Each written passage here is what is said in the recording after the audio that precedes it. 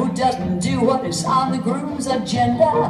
How in the world can I surrender to a boy who wears my negligee? He cooks for me and he sews for me.